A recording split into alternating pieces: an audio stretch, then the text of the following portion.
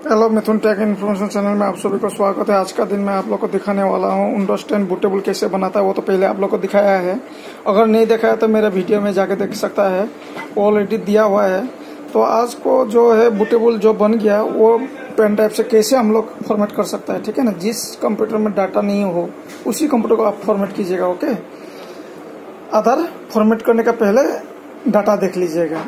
D drive C drive document desktop okay C drive को अंदर में भी देख लीजिएगा डॉक्यूमेंट का अंदर भी देख लीजिएगा डेस्कटॉप में भी देख लीजिएगा। बिना देखे फॉर्मेट मत कीजिएगा, नहीं तो डाटा आपको कहीं नहीं मिलेगा। डाटा अगर डिलीट हो गया, वो और मिलने वाला नहीं है। अगर रिकवरी हो गया तो आपका अच्छा बात है लाख अच्छा है तो मिल जाएगा। नहीं तो आपका डाटा कभी मिलने वाला नहीं है। बट आप कंप्यूटर खरीद के किसी को दे सकता है बट डाटा कहीं से लाके नहीं दे पाएँगे। ओके इसलिए आप लोग सावधान से काम कीजिए। डाटा किसी का डिलीट मत कीजिए। तो इसीलिए हमने ये चैनल खोला है, आप लोग को थोड़ा नॉलेज मिले, ओके? बेसिक नॉलेज मिले। तो हम ज़्यादातर अपना वीडियो में बेसिक नॉलेज देते रहता है। आप लोग ध्यान से देखते रहिए और वीडियो को एंजॉय कीजिए। अगर मेरे चैनल में नए आए हो तो सब्सक्राइब कीजिए लाइक कीजिए और ज़्यादा से ज़्यादा शेयर कीजिए। थैंक यू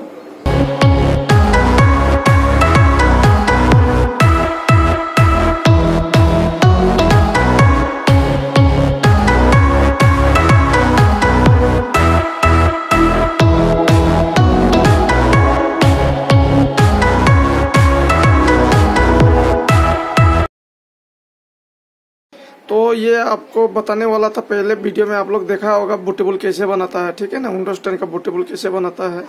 तो वो तो आपको पहले वीडियो में, अगर आपको नहीं मिला हो तो जाके आप मेरे वीडियो जो है वो उसमें देख सकता है, ठीक है ना?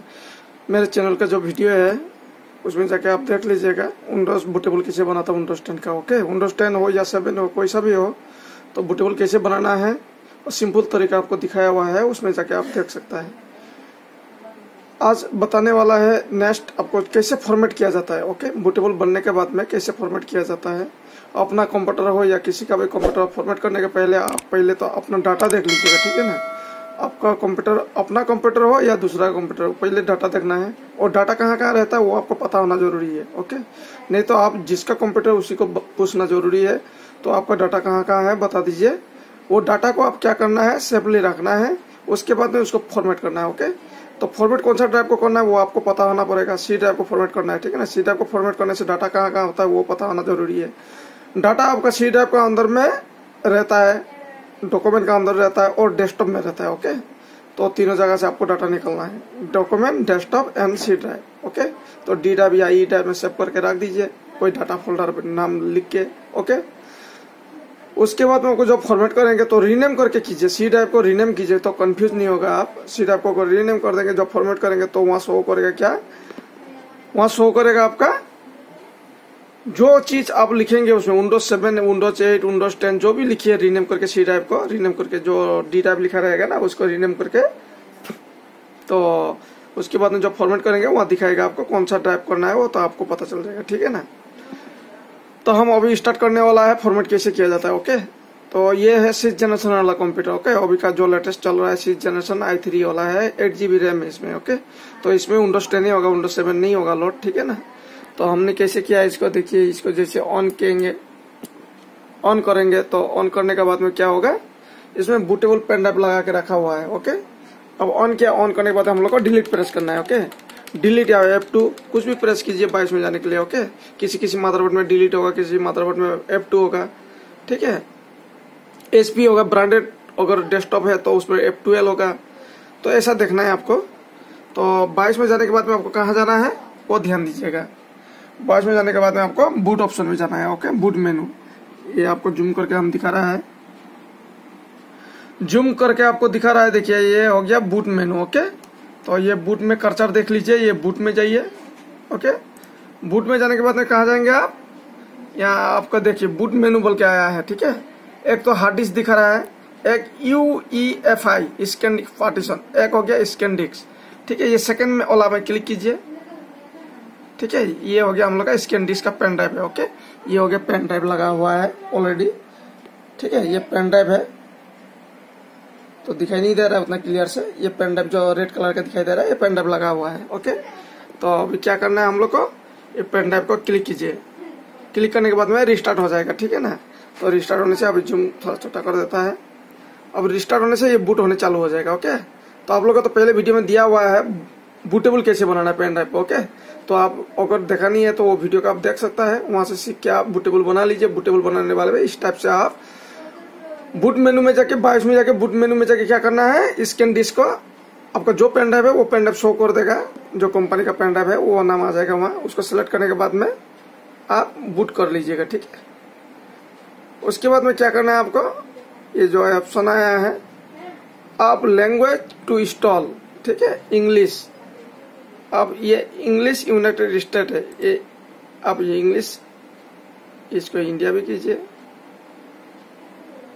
या यूएस किंगडम कीजिए।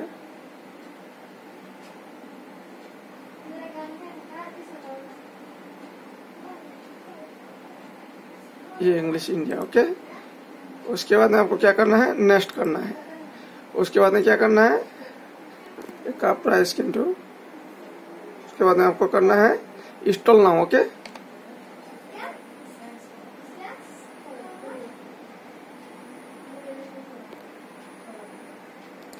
अब आया क्या चीज़? ये ध्यान से देखिए। अब प्रोडक्ट हम लोग के पास नहीं है। ये ट्रायल पैक है, ठीक है ना? आपको अगर पसंद आएगा तो परचेस कर लीजिएगा ये विंडोज़ ठीक है? और विंडोज़ लोड करके देख लीजिएगा, कैसा लगेगा आप यूज़ करके देख लीजिए। अगर पसंद आ गया तो आप ये यूज़ कर सकता है आप। तो हम इसीलिए ट्रायल पैक आपको दिखा रहा है, ठीक है ना? तो आप, अगर आपके पास प्रोडक्ट नहीं है तो आप क्या कीजिएगा I don't have product key okay मेरे पास भी पोटा की नहीं है तो इसलिए हमने क्या ट्रायल पैक यूज़ करने, कर रहा है, इसलिए आपको भी दिखाया, ठीक है? और इसके बाद में आपको जो भरना है वो भर लीजिए, देखिए विंडोज़ टेन एक तो है आपका प्रोफेशनल और एक है होम ठीक है?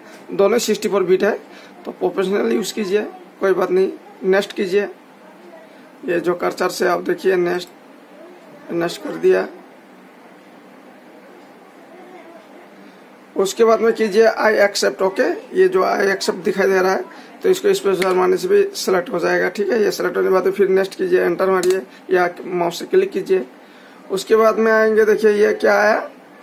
एक आया है अपडेट और तो का नीचे में आया क्या? कस्टम ओके कस्टम में क्लिक कीजिए कर्चर से।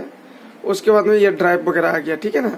अगर आप रीनेम करेंगे तो ये जो पार्टीशन टू दिखा रहा है, इसमें रीनेम होके आ जाएगा, ठीक है ना? ऊपर का हंड्रेड एम है क्योंकि इसमें ऑलरेडी पहले दूसरा कुछ था शायद। तो हमने क्या करेंगे अभी? इसको हमको सी टाइप फॉर्मेट करना है। ये सी है, ठीक है? वन जो है, दिखाई दे रहा है, वो सी है। सी टाइप है ओके ये ध्यान रखना है। लेकिन ये भी हो सकता है, आप ध्यान दीजिएगा। कोई गलती से अगर डी टाइप को सी बना के रखा है तो आप बाई मिस्टेक डिलीट मत कर दीजिएगा। इसीलिए रीनेम करके काम कीजिएगा, ठीक है ना? आपको जस्ट फॉर्मेट करने दिखा रहा है ओके तो अगर नहीं होगा तो पार्टीशन डिलीट करना होगा।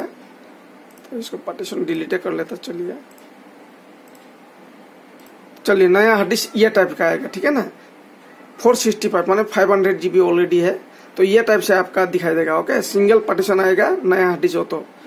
ऑलरेडी अगर पुराना हार्ड डिस्क है, कोई पार्टीशन किया हुआ हार्ड डिस्क है तो वो ड्राइव टू ड्राइव दिखाएगा ओके दो तीन ड्राइव दिखाएगा तो क्या करना है हम लोग को? सिंगल हमारा कोई डाटा नहीं था, इसलिए हमने सिंगल कर दिया अभी। अब हम क्या करेंगे, इसको क्रिएट करेंगे ओके इसको हम कितना जीबी फाइव हंड्रेड जीबी है। तो हम दो पार्टीशन बनाएँगे, तीन पार्टीशन भी बना सकते हैं, ठीक है ना? हंड्रेड जीबी जाता सी टाइप को। हंड्रेड जीबी सी टाइप को देगा तो आपको वन लाख से लिखना होगा, ठीक है ना? ये ज़्यादा हो गया।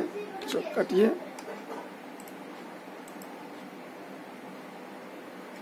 ये भी ज़्यादा हो गया।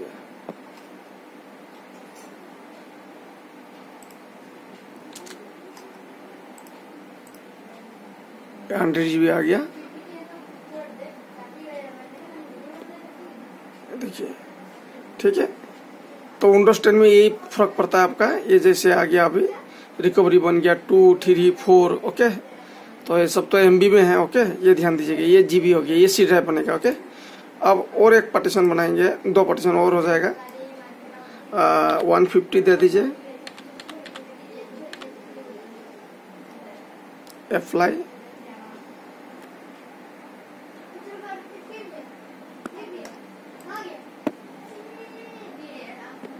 उसके बाद नीचे जाइए, फिर क्रिएट कर दीजिए उसको।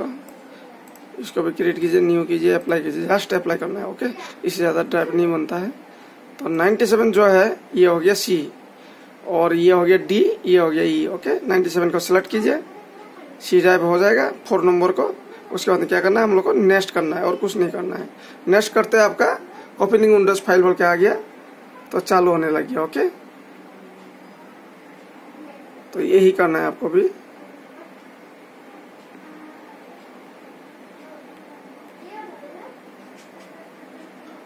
वन परसेंट आ चुका है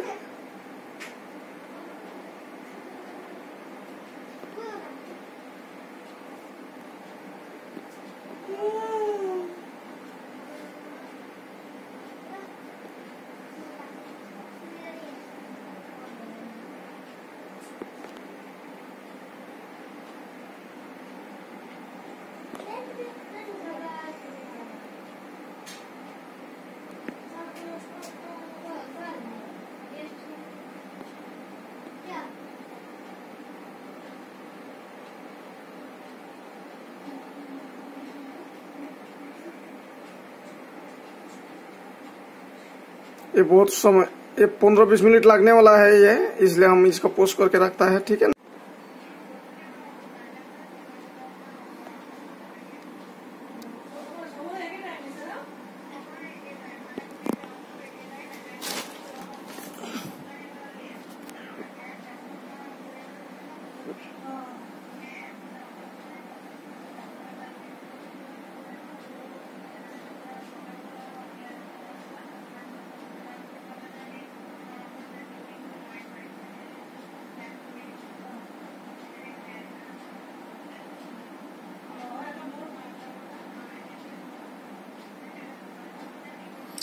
अब इंस्टॉल हो चुका है।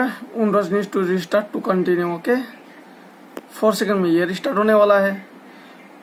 अब रिस्टार्ट हो चुका है, ठीक है ना? अब दोबारा इसको पेन ड्राइव निकाल दीजिए। जब रिस्टार्ट हो जाएँगे तो पेन ड्राइव को कोई काम का नहीं है, निकाल दीजिए ओके इसे काम हो चुका है। अब ऑटोमेटिकली इंस्टॉल होते रहेगा, ठीक है ना? कॉपी हो गया फ़ाइल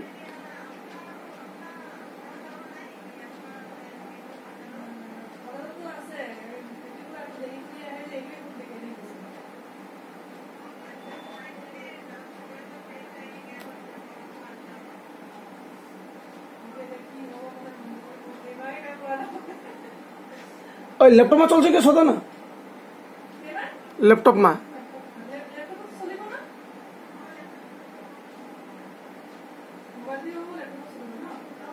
કે એપ્લિકેશન નું નામ क्या है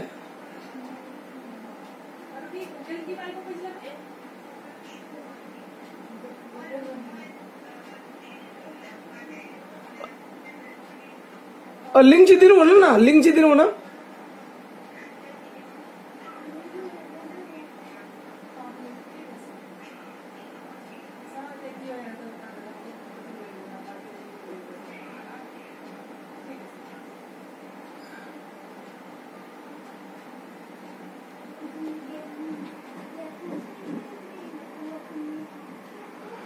ये इंस्टॉल हो चुका है, अभी गेटिंग डिवाइस रेडी अभी रेडी हो रहा है, ठीक है ना?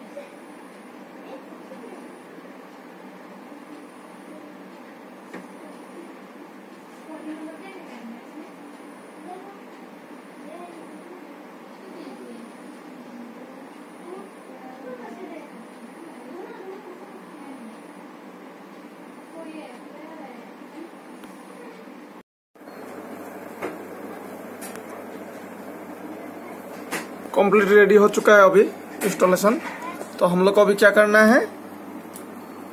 ओके हम लोग को अभी एक कस्टमाइज जो है इसको कीजिए या तो use express setting okay custom करने से अपना हिसाब से आप सेटिंग कर सकते हैं ठीक है? नेक्स्ट कीजिए नेक्स्ट कीजिए नेक्स्ट कीजिए ओके नेक्स्ट नेक्स्ट नेक्स्ट उसके बाद फिनिश हो जाएगा ओके जस्ट एन मोमेंट थोड़ा सा वेट कीजिए। अब कंप्लीट होने वाला है। तो इसी टाइप से आपको करना है ओके तो अब आया ही है, देखिए। Create an account for this PC okay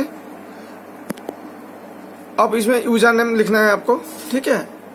Who's going to use this PC okay इसमें क्या लिखना है? यूज़र नेम यूज़र नेम क्या लिखना है? कुछ भी आपका नाम लिख दीजिए या पीसी का नाम लिख दीजिए। तो यूज़र यूज़र लिख देता कोई आपत्ति नहीं है। अपना नाम भी लिख सकता है आप। ओके नेक्स्ट कीजिए। पासवर्ड देना तो पासवर्ड दे सकता है। उसके बाद में क्या करना है? Use not now not now कर दीजिए। कोई आपत्ति नहीं कॉन्टना भी यूज़ कर सकता है। नॉट नाउ कर दीजिए। Just a moment okay setting अपना हिसाब से आप चॉइस करके बना लीजिएगा। कोई आपत्ति नहीं है। बाकी कैसे फॉर्मेट करना है, वो प्रोसेस आपको दिखा दिया है, ठीक है? इसी टाइप से आपको फॉर्मेट करना है। जिस कंप्यूटर में अगर डाटा नहीं है तो वो आप बिंदास फॉर्मेट कर सकता है पार्टीशन डिलीट भी कर सकता है। अगर डाटा है तो डाटा को आप बचा के काम करना है ओके ये आपको सावधान से काम करना है। अपना हो या दूसरा का भी हो, किसी का भी फॉर्मेट करने का पहले डाटा के बारे में पहले सोच लीजिएगा, उसके बाद फॉर्मेट करना है। हम दोबारा रिपीट करके आप लोग को बोल रहे हैं, ठीक है ना? ये चीज़ ध्यान देना है।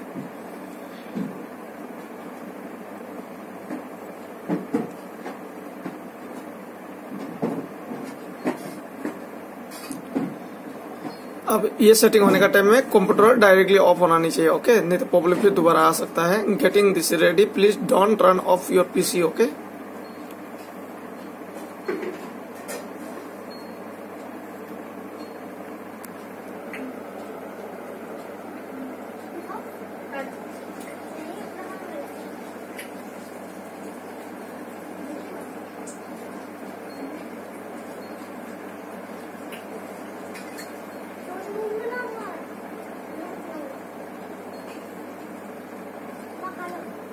ready हो रहा है, थोड़ा सा वेट कीजिए।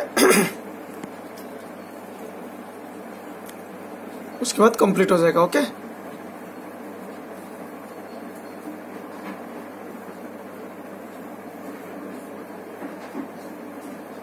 लिखा हुआ आ गया लेट्स स्टार्ट ओके डेस्कटॉप खुल गया है। अब डेस्कटॉप आ गया है, ठीक है? अब डेस्कटॉप में या माई कंप्यूटर का आइकन नहीं है डॉक्यूमेंट का आइकन नहीं है, ठीक है? कंट्रोल पैनल का आइकन नहीं है तो आइकन कैसे लाएँगे? ठीक है, इसका भी आपको दिखा देता है। ठीक है, देख लीजिए। राइट क्लिक कीजिएगा ओके तो इसमें क्लियर नहीं आ रहा है। अब क्लियर लाना होगा हमको। ओके राइट क्लिक करने के बाद कहा जाना है आपको? ये सबसे नीचे में देखिए पर्सनलाइज है, इसमें क्लिक कीजिए। ओके उसके बाद में आपको जाना है थीम में ओके ये है ना थीम्स ये कर्चर को ध्यान दीजिए। थीम्स में जाइए। उसके बाद में जाना है आपको कहा है? डेस्कटॉप आइकन सेटिंग ओके इसमें जाइए। आ गया ना माई कंप्यूटर इसमें राइट सीन दीजिए, इसमें टिक दीजिए, इसमें टिक दीजिए। जो जो चाहिए आपको, उस उसमें टिक दीजिए ओके इसके बाद में क्या करना है? अप्लाई कीजिए ओके कीजिए। उसके बाद में आपको ये ऊपर में कर्चर ले जाइए क्लोज कीजिए, ठीक है? आ गया ये माई कंप्यूटर आ गया। ये ऊपर में यूज़र आ गया। अब यूज़र का अंदर है, आपका डॉक्यूमेंट वगैरह रहता है, ये ध्यान दीजिएगा, ठीक है ना? आपको अगर डाटा रहता है डॉक्यूमेंट में वर्ड एक्सेल फ़ाइल जो चीज़ जहाँ सेव करेगा वहाँ से आप डाटा बैकअप लेके फॉर्मेट करना है ओके तो ऐसे डिज़ाइन से आपको डेस्कटॉप में आइकॉन लाना है। ये सारा आने के बाद में नेक्स्ट वीडियो में आपको मिलेंगे आ, कैसे हम लोग एप्लीकेशन इंस्टॉल करेंगे ओके क्या क्या एप्लीकेशन ज़रूरी होता है कंप्यूटर में वो आपको नेक्स्ट वीडियो में दिखाएँगे। तो टू डेज़ के बाद में आपको देखने मिलेगा कौन सा कौन सा एप्लीकेशन ज़रूरी होता है मोस्ट इम्पोर्टेंट ओके वो सॉफ्टवेयर हम लोडिंग करके आपको दिखाएँगे। जैसे हो गया ऑफ़िस 2016 क्विकिल प्रो ठीक है? क्विकिल प्रो भी आप डाल सकते हैं टोटल सिक्योरिटी भी डाल सकते हैं एंटीवायरस भी ज़रूरी है, ठीक है? ऐसे तो विंडोज़ टेन में ज़रूरी नहीं है, आपका इसमें एक रहता ही है एंटीवायरस अगर आपको ओरिजिनल यूज़ करना तो ओरिजिनल भी मिलेंगे। इसको भी आप अपडेट करके चला सकता है, कोई बात नहीं है विंडोज़ डिफेंडर ये भी अच्छा है, कोई बात नहीं है। ओके अगर ओरिजिनल चलाना तो ओरिजिनल भी चला सकेंगे। विंडोज़ में ये इनबिल्ड रहता है ओके विंडोज़ डिफेंडर, ये भी अच्छा है खराब नहीं है। अपडेट करके रखना ज़रूरी है, लेकिन ये अपडेट का ऑप्शन है। ये अपडेट करना ज़रूरी है ओके उसके बाद में आपको अगर कोई एप्लीकेशन ज़रूरी है, वो एप्लीकेशन डालना पड़ेगा। कस्टमर रिक्वायर्ड हिसाब से आपको काम करना है ओके तो ये चीज़ हम नेक्स्ट वीडियो में आपको दिखाएँगे। आज का वीडियो ज़्यादा लंबा हो गया, इसलिए आज इतना में समाप्त करते हैं। मेरे वीडियो को अगर पसंद आ गया तो प्लीज़ लाइक ज़रूर कीजिए। Thank you for watching